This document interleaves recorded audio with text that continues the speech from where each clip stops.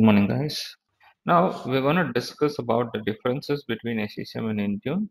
Okay, on different feature level activity. Okay, let me give you first Intune, and then SCCM. Okay.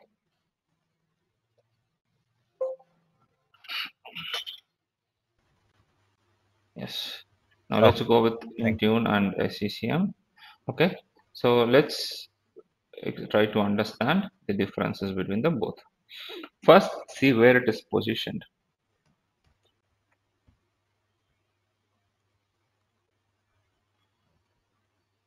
So Intune is in cloud, SCCM is on premise.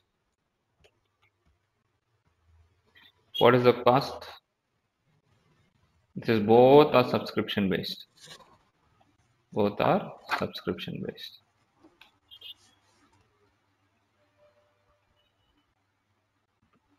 Next. What how do we do the software patching here?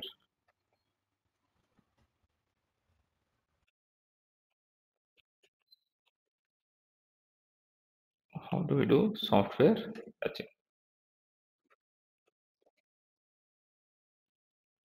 So software patching here is mostly it supports updates.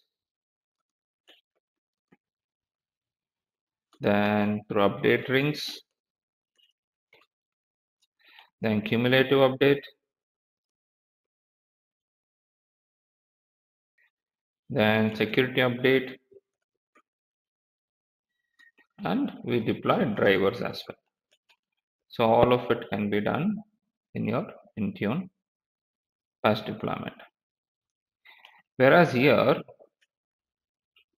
it supports updates, but we can choose, but we can choose which update to deploy.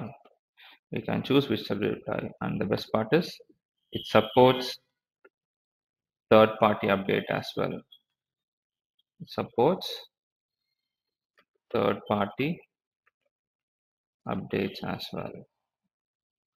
Okay, Microsoft in Intune, it is they're still working on this feature. It is not yet full-fledged, but as of now, as we speak, the third-party updates are not yet supported by Intune as of now.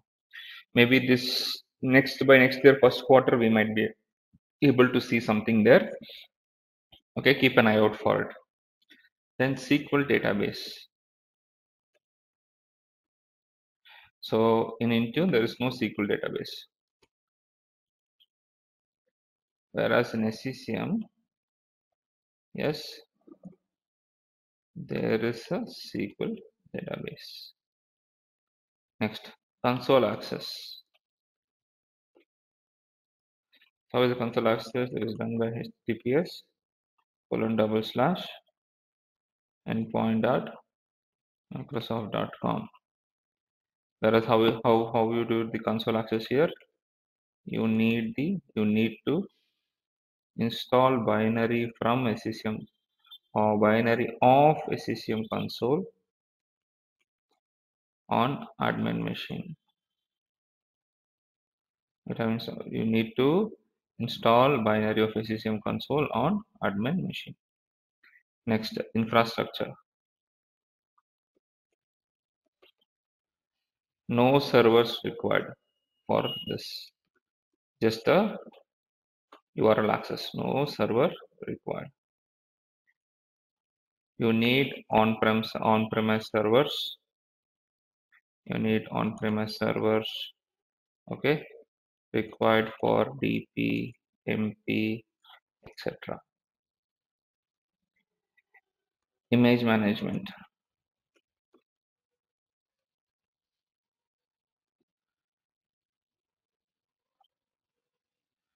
Windows 10 autopilot over internet.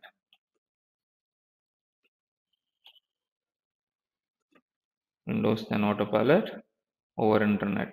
Here you have task sequence. Okay, over intranet. Next, application deployment.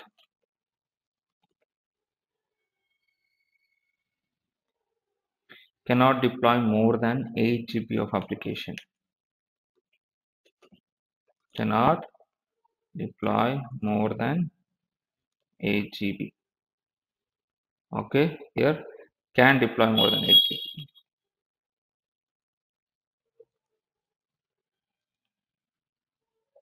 Next, operating system supported.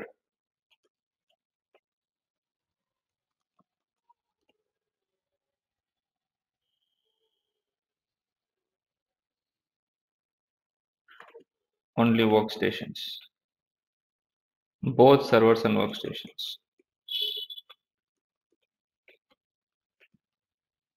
Reporting. Very much limited. Very much limited reporting. Okay, no, not much of a, uh, not, not much of a uh, reports that we have in SCCM. But here we have extensive reporting capability. Extensive reporting capability. So these are the very, very clear differences between your SCCM and your Intune. Okay, so if you remember these, then this should give you a very detailed understanding because you will you will be able to validate all of this what I just said at the end of the class.